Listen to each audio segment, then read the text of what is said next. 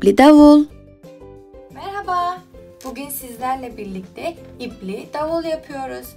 Ben yaparken ve çalarken çok eğlendim. Eminim ki siz de eğleneceksiniz. Hadi o zaman başlayalım. İpli davulumuz için kullanacağımız malzemeler 4 tane kavanoz kapağı, çöp şiş, makas, sıcak silikon, bir parça keçe, el işi kağıdı, istediğimiz renkte bir eva, iki tane boncuk, ip, kalem ve kesici bir alet.